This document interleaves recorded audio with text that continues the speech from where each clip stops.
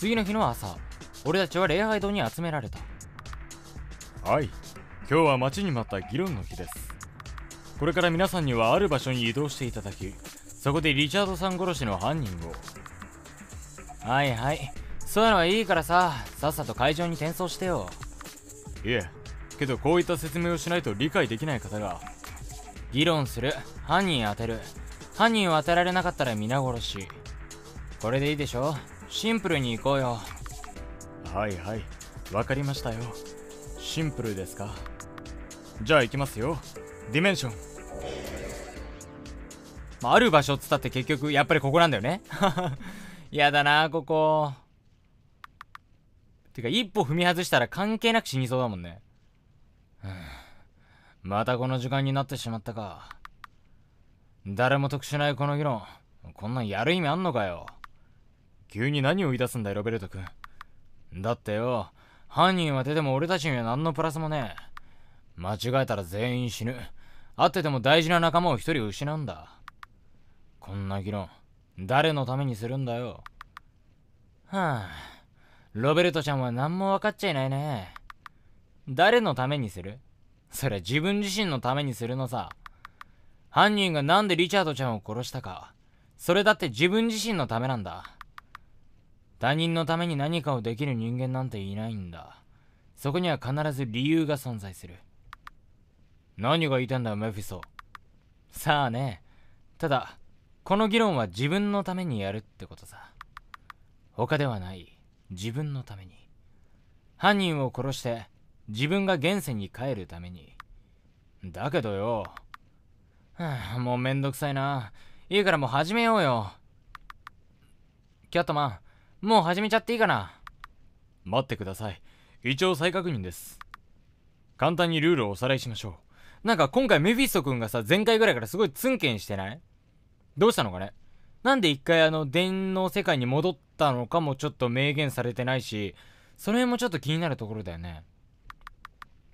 今からあなた方はここでリチャード様殺しの犯人宛ての議論をしてもらいます。もしも犯人を見つけることができたのなら犯人以外の皆様の勝ち。もしも犯人を見つけられたのなら犯人以外の皆様の勝ち。これさ毎回思うんだけどこれ毎回2回言ってない？なんかおかしいよね。まあいいのかな。もしも正解だった場合犯人の勝ちとなります。その場合犯人だけは現世皆様はここのマグマで死んでもらいます。では始めましょうか。あなた方の運命を決める議論を。さあ議論開始。もう第3章か。本当に減ったな人数が。はいはーい。犯人は月姫ちゃんで決まりです。あやべえ。これ違うパターンだみんな。やばい。みんな俺前回散々推理してさなんか月姫ちゃんどうこうって言ったけどここでメビスト君がいきなり月姫ちゃんって言ったってことは違う可能性が高くなってきました。皆さんおそらくご褒美はもらえない可能性が高いです。行きましょう。はいはい。犯人は月姫ちゃんで決まりです。え？いきなり何ですか？何を言い出すかと思ったら根拠でもあんのか、あ、前回俺が散々述べた根拠があるんだけどまあでもよく考えたらなんか電脳世界も何？そのその混在してたからなんか捏造なんかいくらでもできそうな気がしちゃうんだよね。そんなの言わなくてもあそんなのなくてもわかるじゃない。流れ的に月姫ちゃんが犯人だって。長年の勘でわかるんだって。切り裂き風に言うのなら僕の探偵としての勘がそう伝えているんです。あいつは探偵じゃなかったろ。適当なことで抜かすな。探偵みてえな格好してただけだってね。えっ、ー、とメフィストさん。根拠もなしに決めつけるのはひどいですよ。根拠ね強いて言うなら例の組み合わせ。そこまでだメフィスト君。その情報を出すのは早すぎる。なんだその情報とは。みんなと共有していないのか？ちょっと訳があってね。これは犯人に迫れるキーだと思ってるから。メフィスト君君も生き残りたいなら僕に協力するんだ。分かったかい？はいはいルーク様。仰せのままに。月姫さんも彼の言いがかりなんて気にしなくていいからね。あはい。さあみんな切り替えていこう。これからみんなで議論して犯人を見つけるんだ。一ついいかルークよ。ん？なんだい紫さん。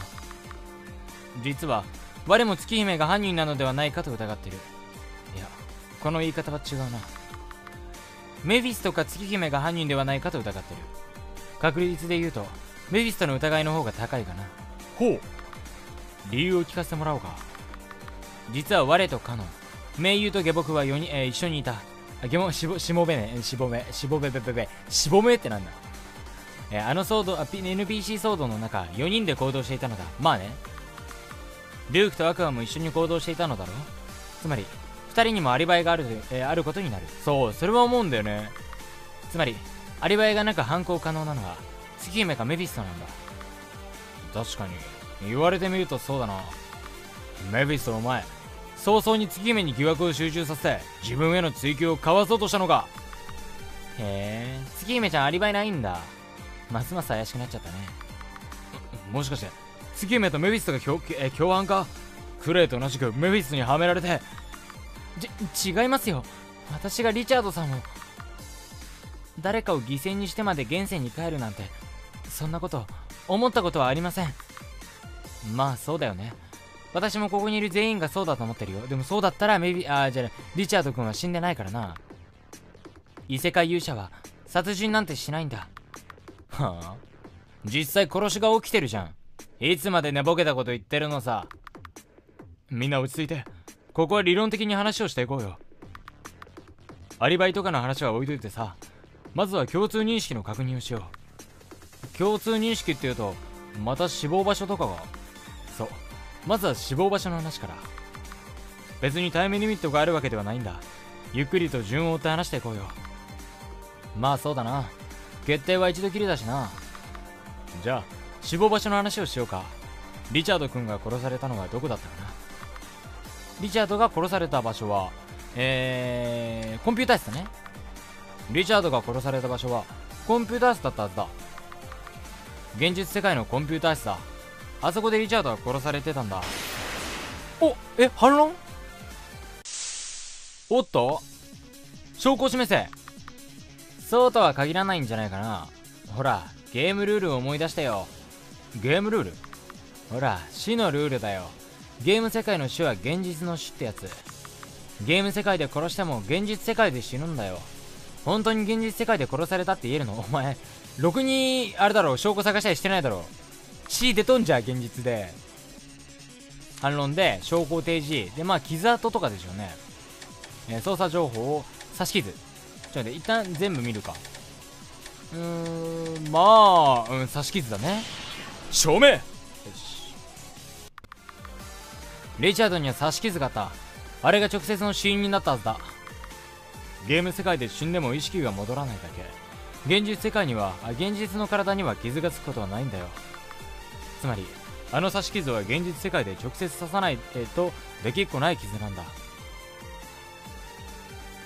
でもさやめちょっと今俺がちょっと今よぎったのはコンピューター世界で死んで意識を失った後に現実で改めて刺されたとしたら？もし万が一月姫ちゃんが刺したとしても刺す前に死んでたって可能性もあんのか？ちょっとまだ分かんなくなってくるね。なんか作者さんのことだからさなんか一癖二癖つけてくると思うんだよな。なんかその謎を。なんかうまい。多分この人今までのそのその第1章第2章からするにやっぱりうまいから考えるのがなんかあるかもしんないねその辺。なるほどね。つまり現実世界で起きた犯行だと。でもさそれでいいのルークちゃん。そうなると犯行可能な人物が絞られちゃうよ。絞られる？ねえ渡辺ちゃん。あの時現実世界にいた人物って誰だっけ？まあそうなるとアクアとルークだね。アクアとルーク。現実世界にいたのは2人だけだ。ってことはお二人のどちらかが犯人ということですか？もしくは2人とも犯人か。どうなのアクアちゃん。確かにその理論で言うとあの時外にいた私たちが怪しいことになるね。けどさそれって誰も隠し事をしていないってのが前提の話だよね。もしあの時私たち以外にログアウトしてた人がいたらその人にも犯行が可能になるし。いやそれはないよアクアさん。自分の首を絞めるようで気が済まないけど言わなきゃ議論が済まないからね。和谷君あったよね。人以外外にいなかったっていう物的証拠が。ルークとアクア以外外に誰もいなかったという証拠。もしかしてあれが？あーやっぱりログイン履歴？うん。ルークのその顔かっこいいね。その決め顔。にやりみたいな。にやりみたいなさ。これだろうなまあ。証明。ここにはルークとアクア以外が外に出たっていう記憶が残ってない。つまり2人以外。あの時外にいなかったことだ。いなかったことだ。いなかったってことだ。ん？いや残ったで残ってるではないか。上にメフィストがログアウトしたという記録が。いやその後にログインした記憶もある。つまり犯行時間にはゲーム世界にいたんだ。今記記録を記憶って噛んだね。どういう噛み方だよ。ん？うん、人知れずゲームクリア条件を、えー、発見し密かにゲーム一人でゲームクリアしてたとは。メフィストよ。ゲームクリア条件とは一体何だったんだ？はいすいません戻ってきました。ちょっと今野暮用野暮用っていうのかな？なんかあってちょっと数分席外しちゃったんですけど飛ばしちゃったけどあのまたメフィスト君が喋りかけたとこだよね。ストップ。メフィスト君。その話はまた後だ。まずは順を追って話そう。次は犯行時間の特定だ。犯行時間つっても細かい時間は分かんねえだろいや。細かいところなんだけどね。意外と重要なところかもしれない。それにね今回はゲームマスターが初めてミスをしたんだ。ゲームマスター？それって？私ですか？私何かミスなどしましたっけ？そう。ミスをした。綿貫君あ綿貫君には伝ええ綿貫君にはかと思っちゃった。綿貫君には伝えたよね。あああのことだなはいはい。ではそろそろいいですかね。捜査開始の宣言をしちゃっても。捜査ってこの中にリチャードさんを殺した誰かがいるってことですか？ええその通りですよ。私はその犯行を目撃しております。目撃？そう。あの時君は言ったんだ。目の前で殺人が起きたって。つまり犯行はキャットマンが僕ら2人と話してた時に起きたんだ。なるほど確かにこれは大ヒントだな。キャットマンさんの位置からでしたらしっかりとリチャードさんの姿が見えますしね。ふん。なるほどなるほど。でルークちゃんは何が言いたいの？何がと。だってささっきから黙って聞いてたらただ情報を整理してるだけなんだもん。犯人ありきの話じゃなくて外堀を埋めてる感じ？君は何か恐れてるようだ。そんなことじゃいつまでたっても真実にはたどり着けないぜ。言っちゃいなよ。君は誰が犯人だと思ってるんだい？アクアさん。アクアさんが犯人じゃないかと。僕は思ってるよ。マジか。私？うん。この状況。僕と君以外犯行は不可能なんだ。もちろん僕は犯人じゃない。それは自分自身がよく知ってる。となると君なんだよ。現実世界でリチャードさんを殺せるのは。なるほどね。ルーク君はそういう作戦だったんだね。作戦？ゲーム世界の外に連れ出したことだよ。まさかこんな風に利用されるとはね。利用って？君は何を言ってるんだ？だってそうでしょ。私を殺すためにこんな状況を作り出して。みんな騙されちゃダメだよ私はリチャード君を殺してない。うわまずいなこれ。どっちもどっちをどっちもどっちがどっちをえ何？お互いがお互いを疑い合っちゃう状況だなルーク君と赤ちゃんが。で周りはそれに惑わされちゃってるな。私はみんなを殺せないよ。大切な家族みたいなもんだもん。そんなことを言ったら僕も殺すはずがない。僕は勇者としての誇りを持ってる。けど今そんな感情論は意味がないんだ。重要なのは理論的証拠なんだよ。てかアクアさん散々なんか勇者は人殺しないとか言っといてルク君のこと完全に犯人にだと思い始めてるけどどそれはどうなの？アクアさんちょっとなんか発言が節々なんか若干バカっぽいんだけど。その理論的証拠って私と君以外犯行が不可能っていう点だよね。肝心の殺し方はどうなのさ？物的証拠がないじゃん。私は君の隣にいた。その時どうやってリチャード君を刺すのさ？ありえなくはないよ。空君の時も遠方から刺されてたでしょ？あれは空君の異世界能力があってこそだよ。私の異世界能力じゃ無理だよ。僕だって無理だ。僕の異世界能力は遠距離ではない。あでもルーク君コピーできる。いやでも違うのかな。どうなんだろう。ちょっとまだわかんないね。でも君の異世界能力は多彩な魔法のセイクリッドスピル。スピル。スペル。正直君の能力は僕たちは君の能力を僕たちは全部把握してない。知ってるのは回復魔法を使えるくらいだ。まだ隠してる能力があるんじゃないの？そんなのないよ。覚醒でもしない限り能力に変化は生まれない。それに君もメフィスト君も見たでしょ？刺し傷ができる能力だったっけ？けど君が。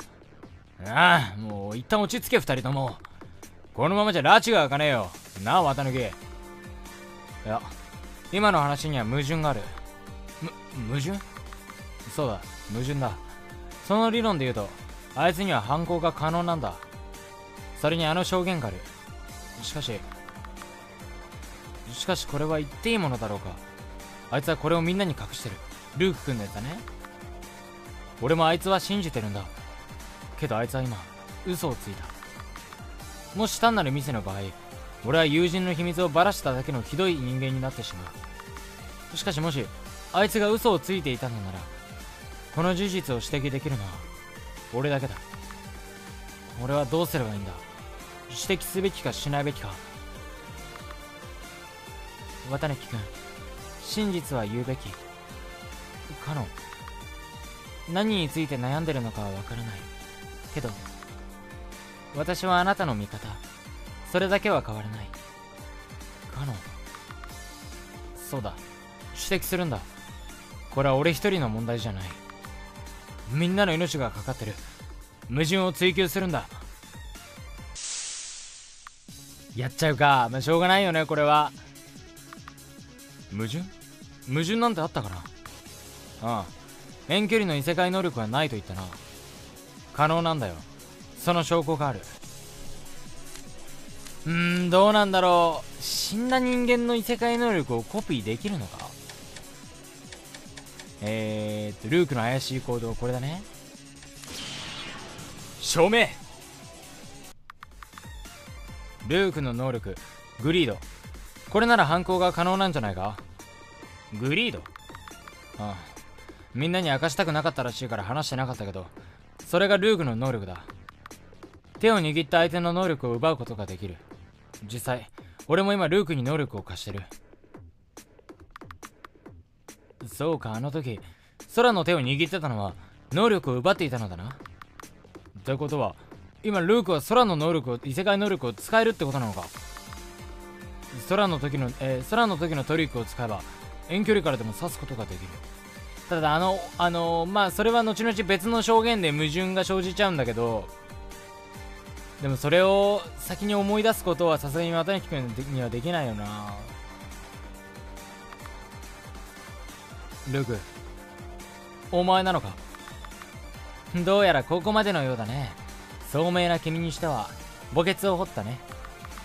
一番の範囲は綿貫ちゃんに異世界能力の存在をばらしたってことだ。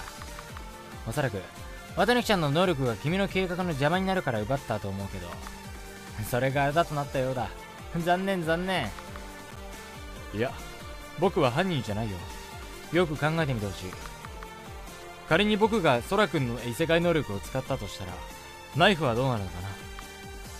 それは消えるね。あ違う逆だ。ごめん。逆逆逆。バカバカバカバカ。今頭おかしかったね俺。逆だよ。刺さったままになるよ。そう。刺さったままなんだ。けど現場に凶器は残ってなかった。確かに。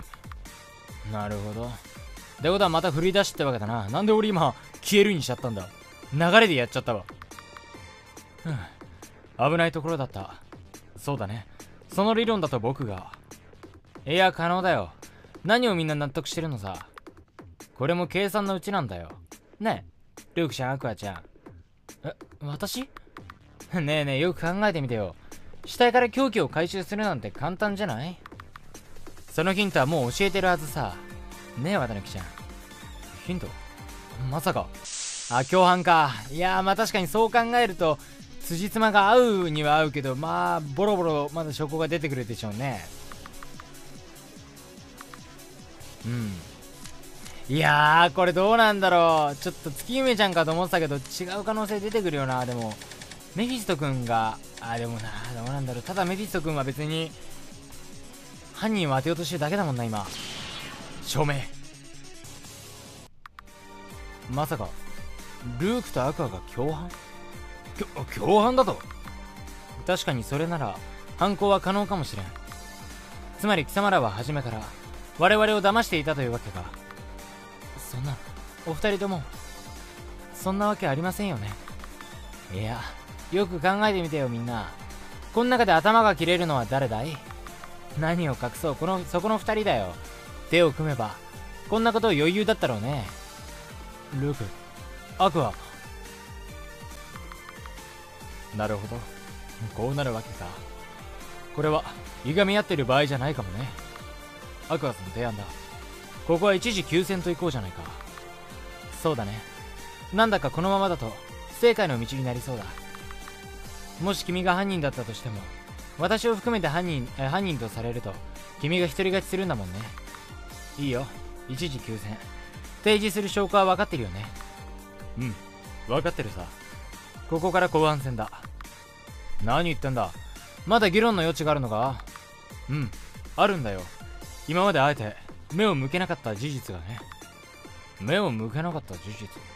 なんだそれ。NPC なるほど。そうだね。やっぱりそこに食い込んでくよね。セーブしましょう。